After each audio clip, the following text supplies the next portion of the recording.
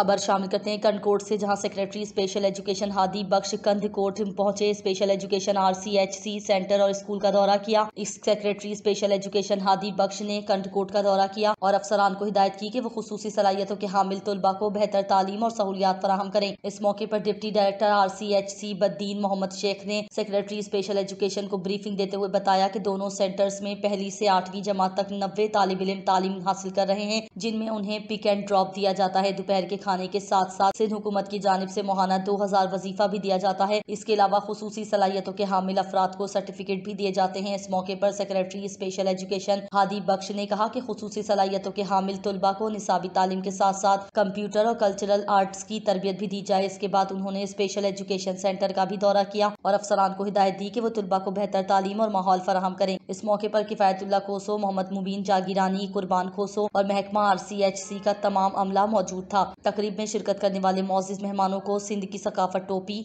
और अजरक भी बतौर तोहफा पेश की गई